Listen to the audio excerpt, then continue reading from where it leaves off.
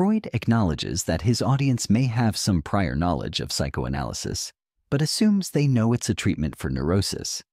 He then highlights a key difference between psychoanalysis and other medical treatments. Instead of downplaying difficulty and promising success, psychoanalysis emphasizes the challenges and uncertainties involved. The text concludes by hinting that Freud will explain the reasons behind this seemingly counterintuitive approach later in the lecture. Freud discourages the audience from pursuing psychoanalysis. They argue that the audience's existing education and way of thinking makes them natural opponents to the field. Even attending lectures won't make them psychoanalysts. Furthermore, the speaker warns that a career in psychoanalysis would lead to professional rejection and societal hostility.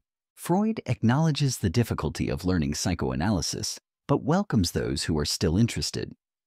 They then compare learning medicine to learning psychoanalysis.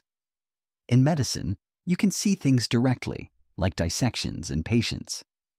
Psychoanalysis, however, is different. You cannot directly observe the unconscious mind.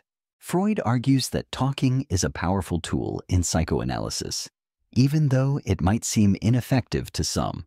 Unlike other treatments, psychoanalysis relies on verbal exchange between the patient and analyst. The patient shares their experiences and feelings, while the analyst listens, guides their thinking, and observes their reactions. This may seem strange to those who expect more tangible actions, but words have a strong influence. They can evoke emotions, share knowledge, and persuade others. Just like magic words of the past, well used words in therapy can have a significant impact. Freud explains why witnessing a psychoanalysis session isn't helpful.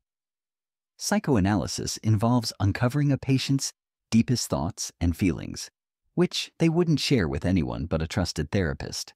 Because of this, psychoanalysis can't be directly demonstrated. The only way to learn about it is from the therapist, essentially relying on hearsay. This makes it difficult to form an opinion on psychoanalysis since you depend entirely on the therapist's account. Freud argues that even though a historian wasn't present for historical events, we can believe their accounts based on several factors. Evidence from contemporaries. Historians rely on reports from people who lived during the events, like accounts of Alexander the Great by ancient writers. Physical evidence, coins, statues, or mosaics can support the historical narrative. Multiple confirming sources. If different sources tell a similar story, it strengthens the case even if these sources only prove people believed the events happened, it's unlikely the historian is making things up, or there's a massive conspiracy. The text concludes that by examining motives of the sources and their agreement, we can be confident about figures like Alexander the Great, but skeptical of more obscure historical or mythical figures. Freud discusses how to learn psychoanalysis. While traditional verification methods are absent, the author proposes self-analysis as a viable approach. By studying one's own personality, individuals can gain a sense of the theory's validity. However, this method has limitations. The text concludes that being analyzed by a professional is a superior method, though limited in applicability. Freud argues that medical professionals are limited in their ability to understand and treat patients because their education focuses on biology, and not psychology. This lack of understanding of the mind hinders their ability to treat mental facades and leaves patients open to alternative, non-medical treatments. The author places blame on the medical students themselves for not being open to psychological approaches. Freud argues that current medical education lacks a proper foundation in psychology to understand mental disorders. Psychiatry, while descriptive, doesn't explain the causes or mechanisms behind these disorders. Psychoanalysis aims to fill this gap by providing a psychological understanding of mental illness.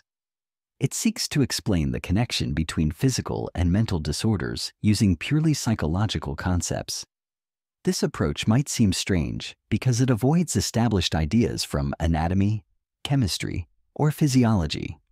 Freud also acknowledges that psychoanalysis faces resistance due to two unpopular ideas.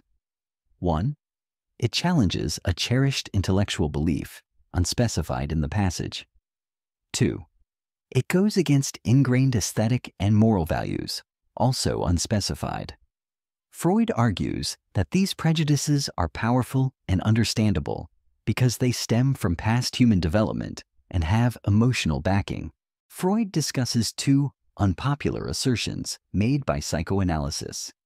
Mental processes are fundamentally unconscious, rather than equating the psychical with the conscious, as is the common view. Psychoanalysis asserts there are unconscious mental processes, which contradicts the widespread belief that the psychical and conscious are one and the same. This idea was met with skepticism by those who favor sober scientific thought. Sexual impulses, in both the narrow and broader sense, play a very large and previously unappreciated role in causing nervous and mental illnesses. Additionally, these sexual impulses make significant contributions to humanity's highest cultural, artistic, and social achievements. This second assertion was also controversial and challenged prevailing views. Freud suggests these two psychoanalytic ideas, though initially met with resistance, paved the way for a decisive new orientation in the world and in science. The author implies the reader cannot yet fully understand the significance and implications of these psychoanalytic principles, but they represent a significant shift in perspective. Freud discusses the resistance and antipathy that has met psychoanalytic research, particularly its assertions about the role of sexual impulses the author suggests this resistance stems from the fact that civilization has been created through the suppression and sublimation of instinctual desires, especially sexual ones, for the good of the community. Society is uncomfortable being reminded of this precarious portion of its foundations, the strong sexual impulses that underlie human nature. It prefers to divert attention from this reality and instead views the psychoanalytic findings as aesthetically repulsive and morally reprehensible. Freud argues that these emotional objections are then rationalized into logical and factual arguments to try to discredit the psychoanalytic truths. However, the author claims psychoanalysis has no tendentious aim, but is simply trying to objectively describe these difficult realities about human nature and civilization Freud suggests that overcoming this societal resistance and misunderstanding is one of the key challenges facing the acceptance of psychoanalysis. But the author believes that once this resistance is overcome, the importance and implications of psychoanalytic research will become clear.